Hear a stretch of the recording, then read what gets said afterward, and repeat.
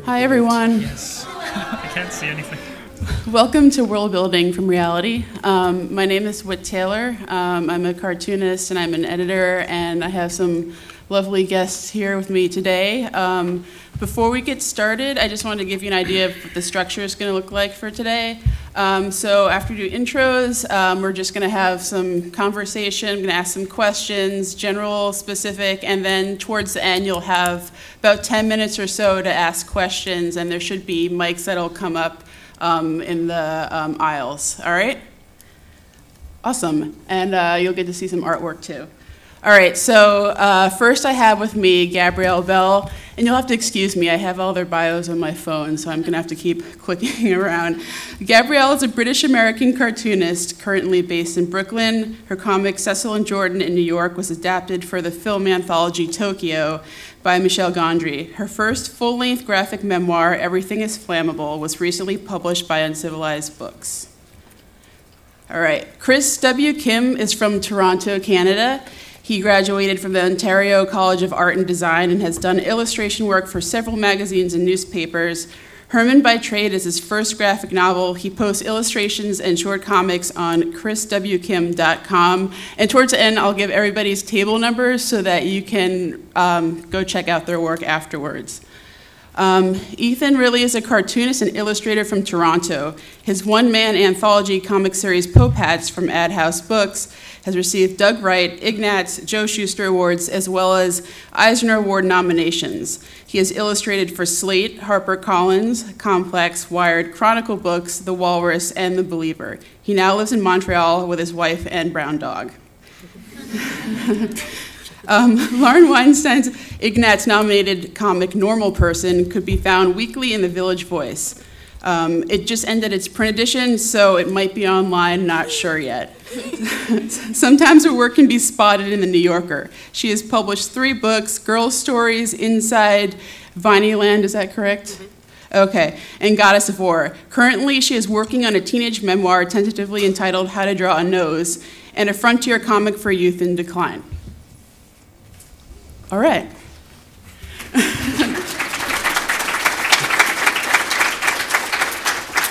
So I think this topic is special because usually when we think about world building, we tend to think of genres like sci-fi or fantasy or things that are not necessarily uh, a lot of the things we come to see at SPX. So things like memoir, autobio, slice of life types of stories. And so I think this is a really good opportunity to explore that because it does take a lot of effort and consideration and thought um, to do world building, world building in those sorts of stories as well. So, um, some of the things that I guess we're going to talk about, aside from just like character building and physical environments, or even things just like decisions around language um, and all the little details that go into world building. So, you guys can just feel free to jump in um, whenever you want. Um, so, the first thing is how do you define world building for yourself? Should I start? Can you hear me with a mic? In um, I, uh, I think it's just par for the course of making something believable is to um, uh, just, you want to figure out where somebody lives and what they dress like. And um, so it's very important that that ring true. And so I actually do a ton of research um, on uh, details of somebody's house and somebody's life and what they might wear, and I think way too much about it, and I go down way too many rabbit holes in the internet, um, and that's about, that's how I, I mean, it's it just is, if, I never just think about one little part of a story, I think about everything else involved with it. Um, I guess that's how I define it. Um, I would also add that uh, it, there's a certain once you have your world established is something to do with some kind of logic. Like if it's a world in which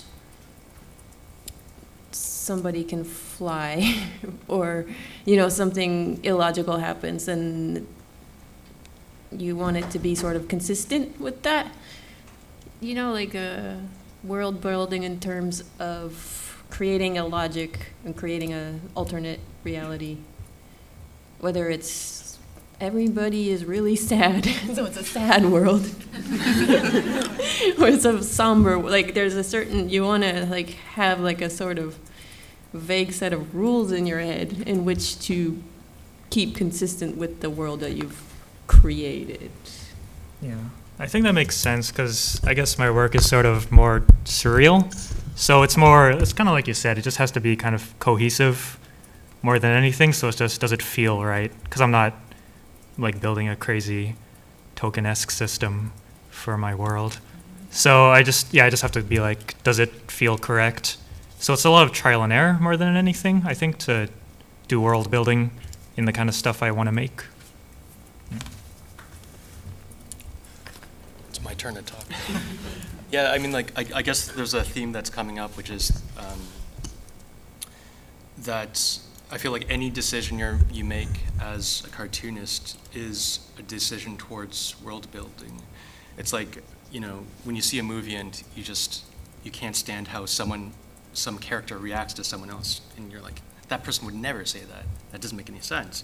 It's the opposite opposite of that where you're trying to build kind of a dynamic where there's conviction, it's realistic, and and once you do that, you've created, you know, a cohesive world. And it doesn't matter if they're, you know, flying dragons or or you know you're in space, or if it's uh, you know what we would call or the equivalent of literary literary fiction in comics. Um, you still are making all these decisions that uh, determine what your world is like. You know, do your characters swear or not? Are there swear words in your world? Um, you know, are you know are there consequences to when the character Mm, makes certain yeah. actions? If there isn't, then maybe that's a comment you're making Mm. on the world itself. You think that you know morality is going in a certain direction. So um, I think that you know world building is is a really important part of the creative process for anyone. And yet, sort of intuitive as well. Yeah, exactly. Because I, I mean, there are probably parts of world building that you wouldn't be able to avoid as an artist. Like, it's really hard to. I mean, like, I was thinking recently about like the way people structure stories, and there are all these manuals for like the three uh, three act system in Hollywood and stuff like that. But I think it's actually like, you know, the way you structure a story is actually really interesting. It's um, if you have an impulse towards structuring it a certain way, you know, a way you deal with the endings of stories, that's actually a big part of uh, how you express yourself as a, as a person and as an artist and kind of how you see the world. That's, that's my thought, anyways. So the way that you structure a story reflects on how you interact with the world? Yeah, I mean, like, you know, there's always pressure to kind of like wrap a, a neat bow at the end of your mm-hmm. story and say like, you know, da-da, da-da, and it's, it's over. Or like, you know, something, or end on a hopeful note, you know, but some people just kind of, they can't help themselves. They can't do that, you know, they, mm-hmm. I, I don't know if I'm one of those people, but I've thought before where, you, you know, you, you can kind of feel that pressure of, you know, well, the audience wants this. Yeah. But I naturally feel like doing something else, and that's kind of part of your own personal world building. It's, uh, and I think it's like, I feel like you should avoid that pressure. You should, you know, if it, you know, more so if it's something that other people wouldn't do, you should do it, and kind of, you should explore that part of yourself. That kind of makes me think about um, abstraction, which I think is a large part of comics, of you know observing the world and then making that decision, either consciously or not, of what to include and how to represent it. Um, and how do you feel like that process has changed for you over your career? Like, how do you think that the choices that you've made with your world building has changed? Uh, let's see. well, so I'm on a weekly deadline every week for the Village Voice. Um, and I try and build, sometimes each week, I try and make the most fully realized little four panel world that I possibly can do. I like try and cram as much uh, shorthand for things as I can into each one.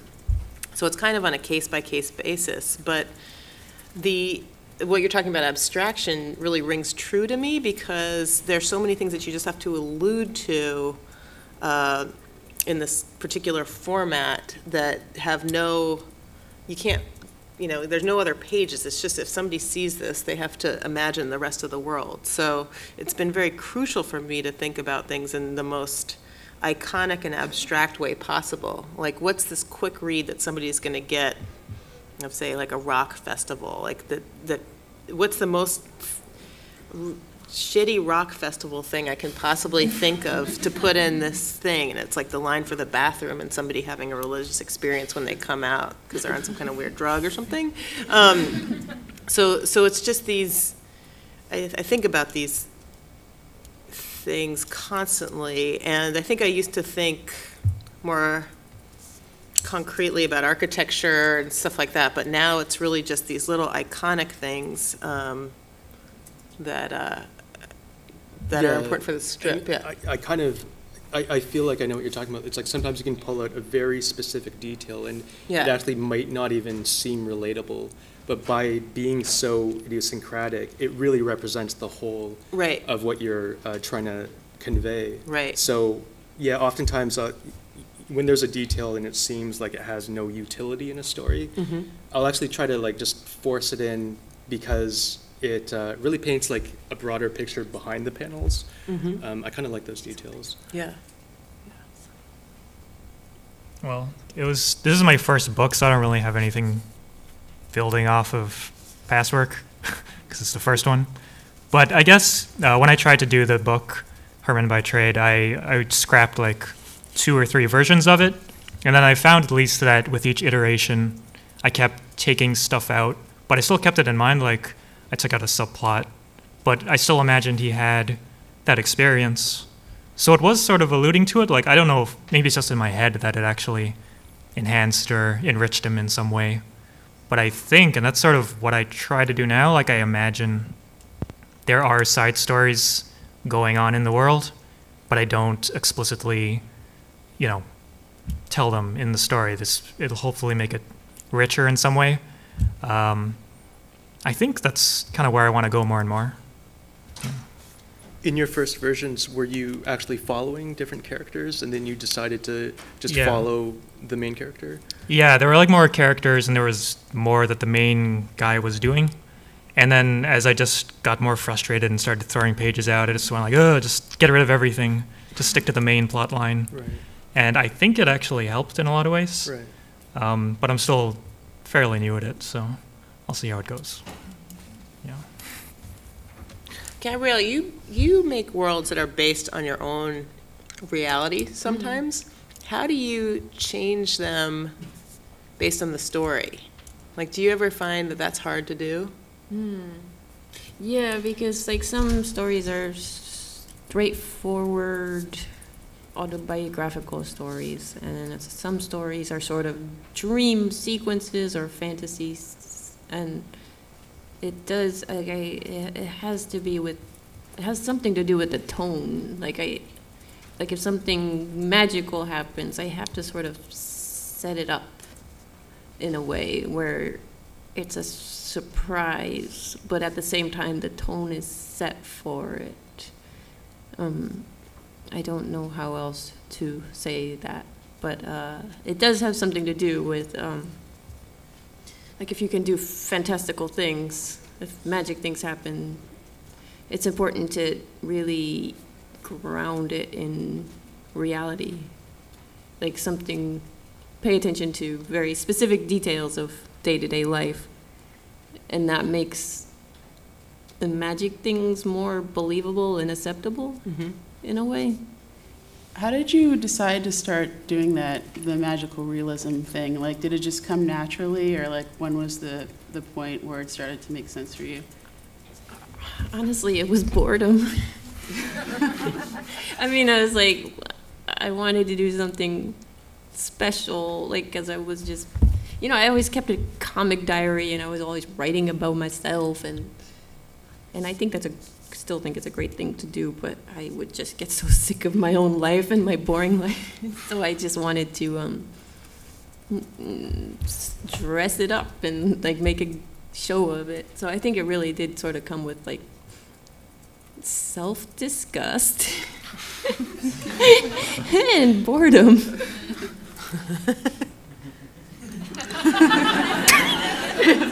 Two key, key ingredients for any good cartoonist. Yeah. It's most cartoonists. She's, yeah, she's not Yeah. alone. That's just cartoonists. I, I, I don't know if this uh, echoes what she said, but I, I actually, um, in the first issue of my series, I had uh, uh, halfway through the story, there's a character that appears. It just comes through the wall and it's a ghost and it's talking and it, it speaks in very absurd language. It's like always non sequiturs. It's kind of like an easy laugh for the audience. And uh, it took me a long time to get around to doing the second issue. And by the time I decided to do the second issue, I actually just focused on the main characters. And without any explanation, I got rid of the ghost. Um, and I don't, like, it's not that I'm against, I love those types of comics, uh, but I felt for, I guess what I really wanted to accomplish with um, making comics, it felt more like honest for me to just um, to really focus on the boredom of life. Like I actually wanted to like explore that, and uh, it just kind of it wouldn't balance out if I had this you know comic relief character. Yeah, it's true that like some stories they just they just have to be straight, straightforward. Yeah, straightforward. right, right. Do you have a way of um, recording your observations? Because I feel like you have to be observant if you're a cartoonist. Like you're seeing things all around you. Do you keep notebooks or like how do you incorporate those things into your work? Um, my phone and my uh, computer desktop is just like a mess of memo notes and like notepad. notepad um, I guess the application is just Notepad. I don't use Word even. It's just like filled with them, and for some reason that's why I do it that way. Uh, probably because I always have my phone on me. So Don't we all? yeah. yeah. I try and just write stuff down. I almost always have a piece of paper with me. I almost feel like naked without one right now. Um, uh, but uh, although I, there's no pen, um, the but I think um, keeping. I also like to talk about people with other people, and then I'll remember it a little bit too. Um, so those are just ways.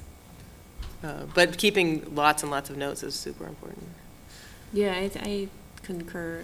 I think that uh, like 80 or 90 percent of the story actually is done on little notebooks. Like, if I sit down to write a story without stuff in my notebook to refer back to, then it's often just nothing happens. Like, it story sort of happens in life, whether it's a fictional story, a nonfiction. It, the story happens when you're going through the day. So it's really good to write stuff down because it's easy to forget.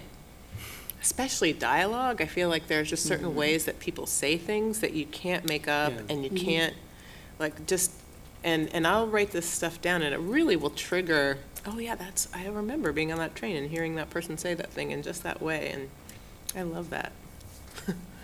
Yeah, like a, a secret fear I have is just every single character I have sounds like the way I think, just ter- like terribly boring. So people agreeing with each other. Uh, so uh, yeah, actually, research. Uh, I think you were talking about that. Um, I was actually uh, so part of my story uh, involves a corporate law firm, and I've never been in a law firm, but uh, I did a lot of reading to kind of get a sense of the personality type that would be attracted to become a lawyer, and the um, kind of innate competitiveness in that environment. So I guess this kind of relates to world build, building in that um, using that, you know, the world building really actually just comes out in the opinions people have, the way they talk, and the things that they care about. And it's not really so much as just like I'm drawing a nice background, even though that is part of it. But um, uh, yeah, I mean that that I think it really helps uh, have uh, kind of give you a, a real strong sense of location, which I think is, I mean personally, like all my favorite records and and like you know novels have this strong sense of time and place, and uh, I'd like to do something like that. So I try to think about you know, with scenes, like the types of people involved, the impact the location has on the person, and, you know, as you move through different environments, like if you, I guess a, a common thing that happens in my story is, you know, the main character goes from work to home, and home is a much more relaxed place. You know, it's like dark and intimate, and you know, it's either with her best friend, her roommate, or not. But it's it's like a reprieve from work. So um, I think just that that emotional reaction from you know room to room, and also um, the characters involved in those different you know places. She's you know the character is not going to come across these competitive lawyers at home. I think that helps uh, give the, the story a sense of conviction. That's the theory.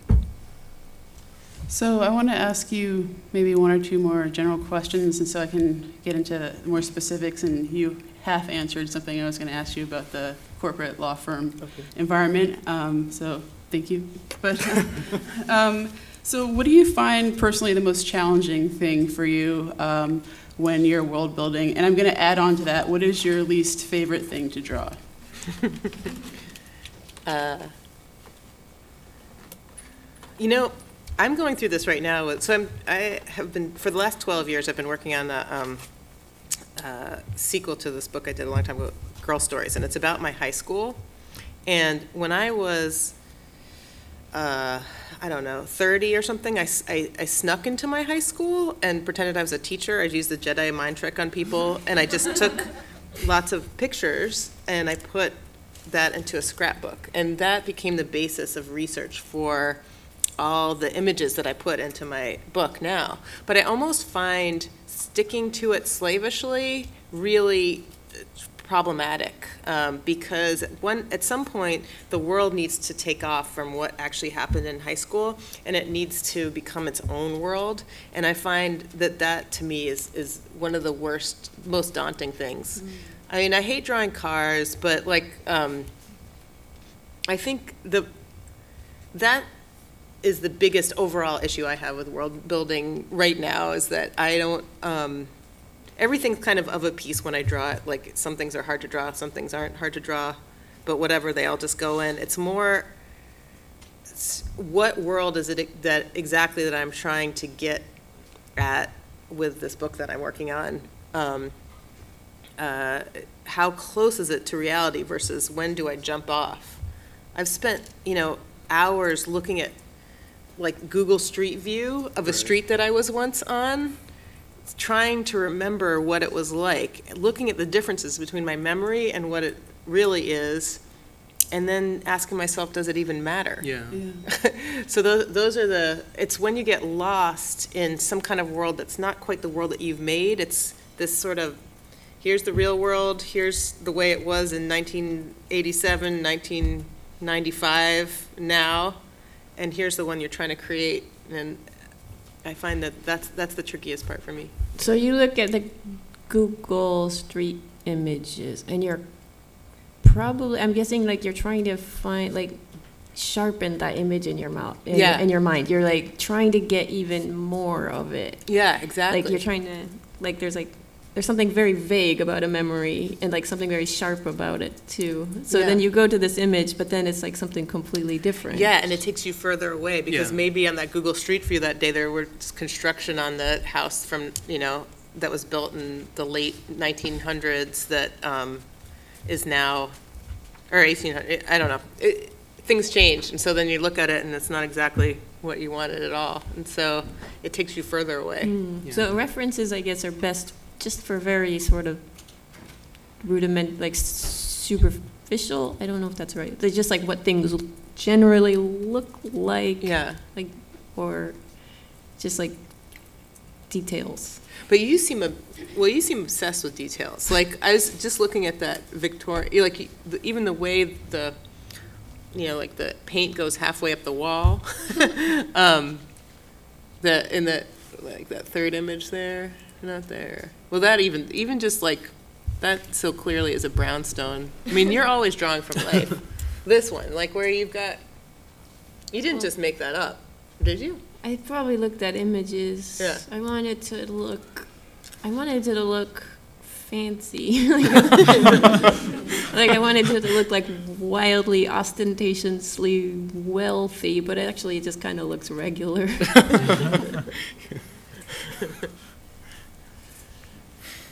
But, sorry, I kind of derailed that topic there for you, Whit. No, I mean, I asked two questions that weren't actually related to each other. So, um, anyone else, anything that you find particularly challenging about world building? Uh, I think I like to uh, focus on his gesture, like the way people talk with their hands and just the way people Yeah. position their bodies. And I think it can be really evocative of, uh, like, it can be it can help be helpful for characterization and and especially you know you can actually track a conversation and make it change based on how people uh, you know shift their bodies. So one thing I found really difficult to draw, and I, I can't stand it, is just like the most mundane things. I, I redrew a man pulling out a chair from a big dinner table to sit down. And it's just like, you don't, as a cartoonist, you want to be efficient and you don't want to waste your time on small things. But it was literally like, I, I had in my mind, you know, guy is going to sit at a dinner table. That's, that's it. But um, I figured out that it, you know, the way people do that is really different than the way I had it in my mind. Like the way you grab a chair is not like in my mind. It would just be like you're sitting like this, but actually, it's like you grab the chair here instead of like in the corner. It was weird. It was just like I spent way too long on it. But after I finished it, I was like. That's an awesome drawing of a guy pulling a chair. I was like, I don't care if no one notices. I did that. But you know? people notice, I think, subconsciously, which Yeah. is even like people don't think about it so much. And in a way, you want to work yeah, on these things. And like in that, you want it to in- be In that particular scene, it certainly wasn't the focus. Like it Mhm. wasn't about that. Uh, but I really wanted. I guess I was just trying to show the action of people settling in in a Mm. group dinner situation, which is kind of you know, it's kind of awkward. People Mhm. are figuring out where to sit. So um, yeah, I find often it's like those things that derail your your I, I guess your schedule for drawing is stuff that I, I can't predict at all. hmm yeah, it's true. Something. I feel like, yeah, no, I've had that exact same experience. Like, I've restructured a page because I can't draw. Like a guy walking away at a three quarter angle with his right Right. foot behind his left. Right, right. It's really hard sometimes. And Yeah, but it's so important. Like when you figure Yeah. out that it's not like it doesn't look right, it's not giving you the right feeling. yeah. Like you kind of really have to solve that problem. Yeah, and it's like the paper gets ruined because you're just erasing it and drawing it again. And then you draw like an amazing cityscape the next one. You're like, huh, that was easy. Yeah, right. Just move the Yeah. camera away from Yeah, whatever just you had a problem with. But yeah, I know what you mean. All right, so I have some uh, specific questions for um, all of you guys. So I'll start with you, uh, Gabrielle. You already kind of uh, talked about the magical realism thing. That was the first thing I was going to ask you. But um, are there any other considerations that you keep in mind when you're writing from, like, you're doing memoir or autobio, especially in terms of, like, dealing with people who are actually in your life and representing them? I just try to make people look good, so, so no one will be mad. Good answer. I mean, I try to make them look not just physically good, but just I try to make people seem likable. I, I guess because I don't know. I don't want to uh, de- defame anybody's character or anything. It is a kind of a, a delicate thing because uh, when I write about myself, I can do as much as I like, as much as I feel comfortable with. Like I can expose about myself whatever I whatever I feel comfortable with. But everybody is so unique in that some people don't want this talked about, like some particular thing, and it has nothing to do with the thing itself. It's their association with it. So I have to be, I think, a bit tactful with it. I think. Um, I didn't used to be so careful. but I think there is something about when somebody else writes about you, they're using you as a puppet. and um, so you have, I want to be as like a the most benevolent puppet master. Wow. Yeah, I think that's something that comes with time as you're doing autobio and you, people get mad or upset with representation sometimes and all Yeah, of that, so. but I think it's also like, it can be like honoring somebody to put them in a comic Yeah. as long, as long as they don't, as long as they don't mind. All right, so Chris, um, one thing when I was reading um, your book that kind of blew me away was how you draw crowds. Um, they're really intense, as you can see up there. Um, and just like, I mean, the amount of detail, it like really, um, I found to be really unique. So I guess a big part of this story um, is just like the vast array of characters who are essentially um, I don't want to like give away the whole story, but I'll just say there's a there's a part of the story where they're auditioning for this performance, and there's all these like street performers and entertainers. Um, how did you like come up with all the character designs for those characters? Yeah. Um, well, I have like a big file of faces. Like, you know, I have a lot of anatomy references and all sorts of things, architecture, but I mostly have faces. Just because if you, if I had to draw anything, I would just draw faces all the time. Um, but then I also, I like, I watched a lot of movies with appropriate, you know, types of characters. Like, um, I watched some Fellini films because he has a lot of circus people in them. And then just on the street as well, like using my phone again to take a lot of snapshots of people, like trying not to be too obtrusive, but I want to get get their face. so, but it's yeah. I mean, honestly, it's just I really enjoy doing it, and it's a bit of a.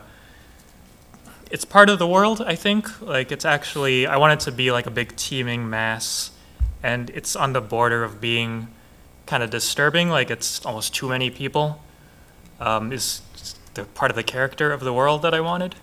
Because I wanted like the the overwhelming feeling of like a festival or a circus, that kind of thing.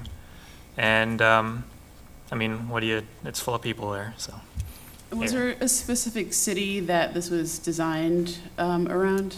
Yeah, it's Toronto where I live. Okay. because they have a waterfront. And then for this uh, comic, I kind of imagined like the whole city is just along a waterfront and almost nothing exists outside of it. Um, which I didn't, it's not actually something explicit in the story, but you rarely go outside of that, uh, that area. Like you'll see half city, half water. And uh, yeah, again, I just wanted to hone in. Like in previous versions, I had more, but I just thought, to me, that's an interesting idea and I wanted to just push it in a abstract, like in a surreal way, as far as I could. Um, so yeah, that's why I went with it. Thank you. All right, um, so Ethan, I'm gonna um, jump to you. Um, so one thing I noticed about Pope Hats number five, like you were mentioning, is that it takes place in this law firm. There's also like a home life as well. But what really like um, stuck out to me about the um, law firm was the language, your use of language. And I feel like I mentioned before, like language is a big part of world building. And you mentioned, I was, I was first going to ask you if you'd worked in a law firm before. Um, how did you get the language down for that? Uh, well, I mean, I've never been approached by a lawyer and been told that it's right, so I actually don't know if I got it at all. I kind of just made it up. Uh, I mean, I think I don't know. I like so the closest thing I've experienced in my personal life is I worked uh, for the Ontario government in Canada uh, as a policy advisor, and there there's a certain amount of bureaucracy, but it's also kind of uh, it's it's like a pretty slow environment. You know, it's government, so not a lot gets done. it's a lot of approvals. Um, but you know, it's kind of like anything. Like uh, you can kind of easily imagine that. T- you know, you can take things to the logical conclusion if you want to um, embellish it a bit. And so, um, for a law firm, you know, it's it's it's definitely different. The one thing that I was thinking about a lot about how people go about their days is uh, the billable hours uh, structure of you know they they bracket off their their hour into three billable segments and everything gets billed at different rates based on how experienced or impressive a lawyer you are and then people who work for them have to kind of support this whole system so time is like very, very valuable to these people. They get really impatient when, you know, someone's slow with their food order or something like that. But, uh, you know, you just kind of follow that personality and then you think about what files they're working on and what is important to them, what isn't. You know, often it's other people.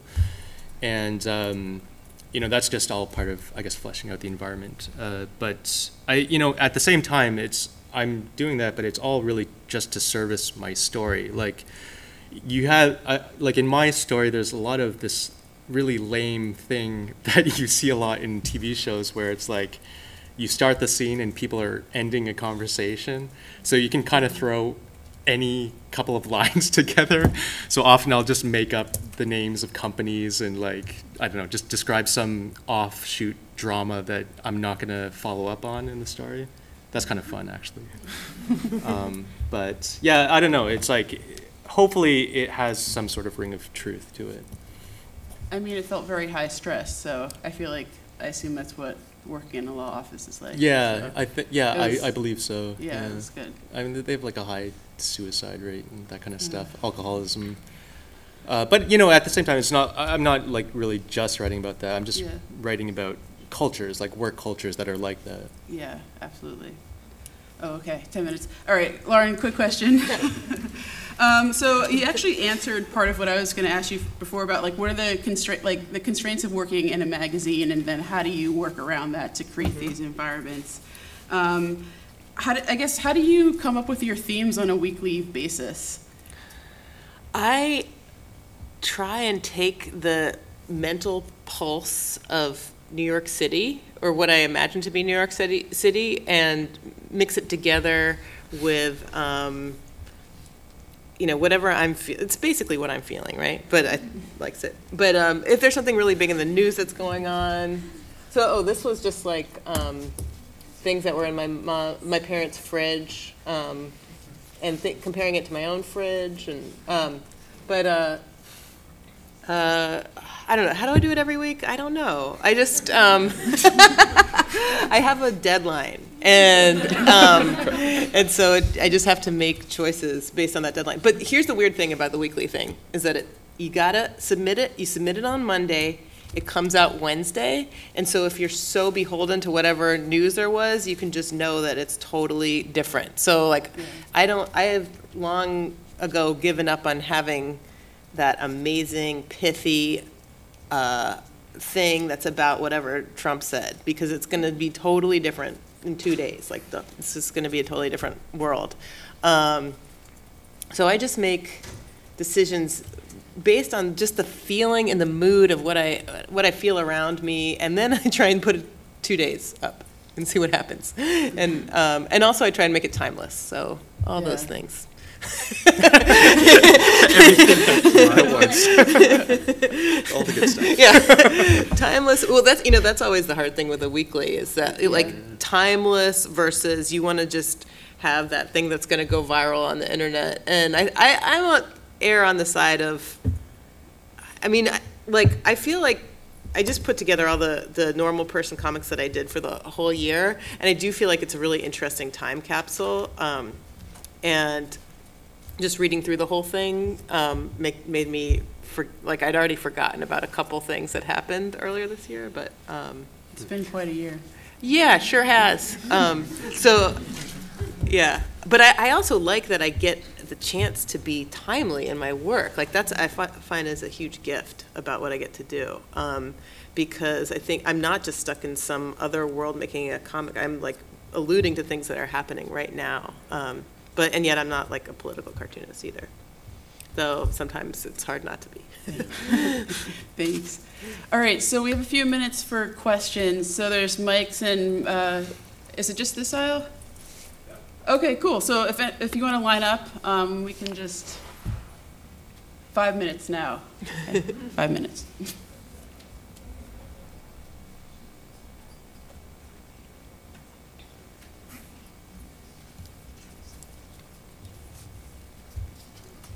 this volume all right? Yeah.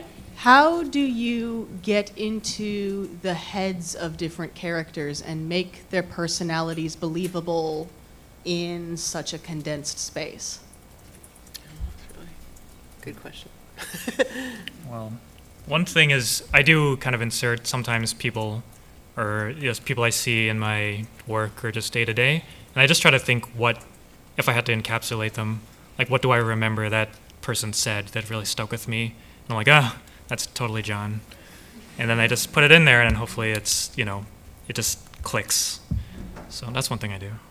It's kind of like when you're uh, like a, a disaster film. You've got buildings falling and everything. That's fine, but the thing that people connect to is just the reactions, the reaction shots of the crowds going, "Oh no!"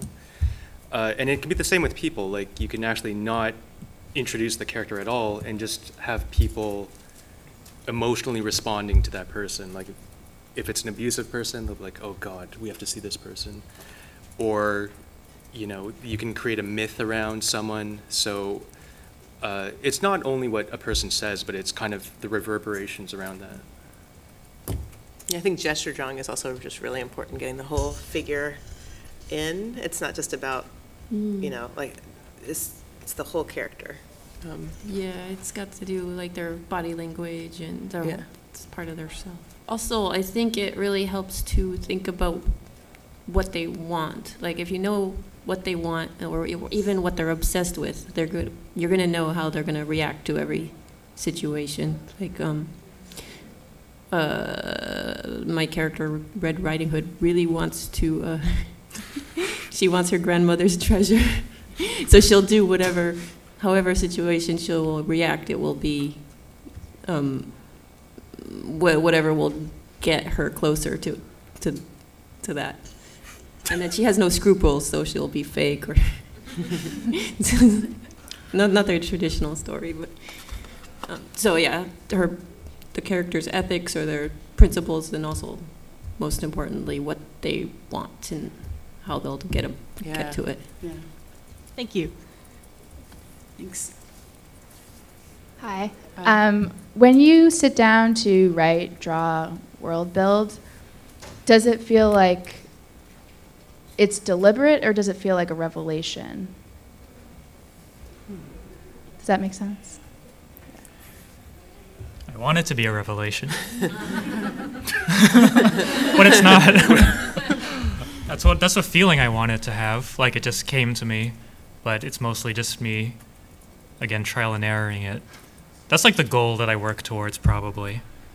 But I won't achieve it. yeah. It's a very upbeat panel. yep.